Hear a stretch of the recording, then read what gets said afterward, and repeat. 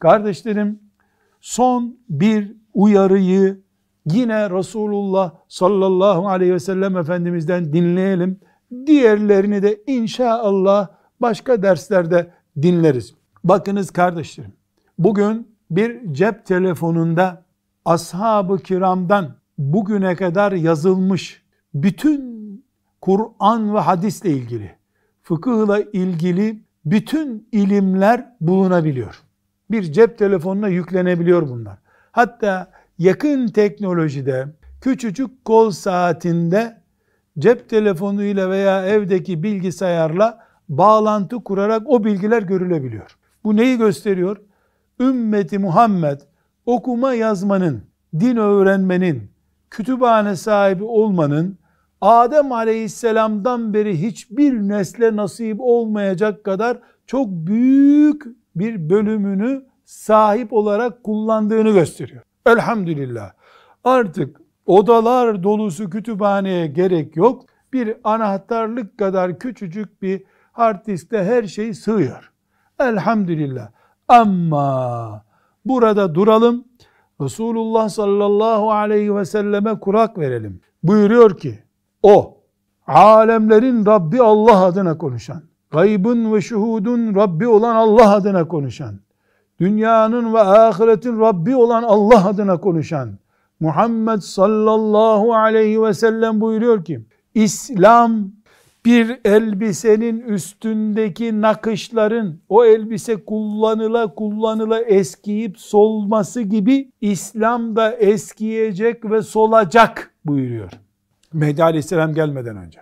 Kur'an bir sabah insanlar kalktığında hiçbir yerde yazılı nüshasının olmadığı hale gelecek buyuruyor. Göğüslerden ve defterlerden, kitaplardan silinecek buyuruyor. Bize ne diyor?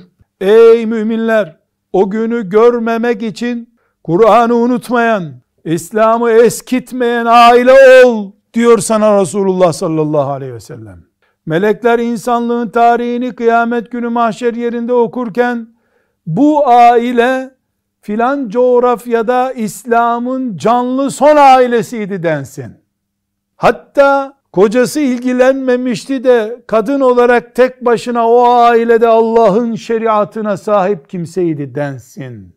Gece herkes uyuduğu saatte oturup ailece Riyazu Salihin okunan bir evdi bu evdensin diyor. Allah'ın kitabını Allah'tan başkası silemez defterlerden, kağıtlardan. Eğer böyle bir şey olacaksa bunu Allah izin verecek de olacak diye inanıyoruz. Peki Allah kitabını niye sildirecek? Çünkü insanlar kalkıp kitabından kadınlar kadınlarla ilgili ayetleri ağır buluyor, o okunmuyor. Ekonomi ile ilgili ayetlerde başkalarının hoşuna gitmiyor, onlar o kenarda tutuluyor. Ahiretle, kabirle ilgili ayetler e, teknolojiye aykırı bulunuyor. İnsanlar zaten Allah'ın kitabını ve şeriatını zaten defolu hale getirecekler kafalarında.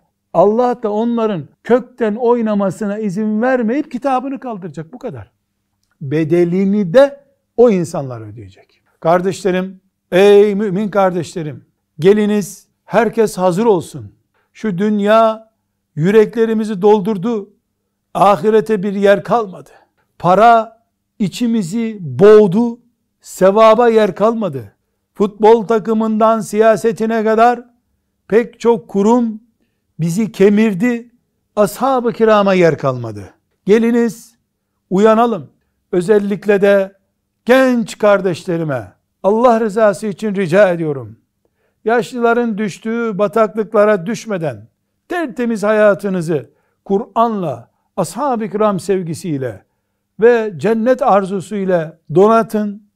Böylece tertemiz bir hayata devam edin. İnsanlığın ve bizim topraklarımızın son çekirdek Müslüman örnek ailesi, şahsiyetleri siz olun. Allah yardımcınız olsun.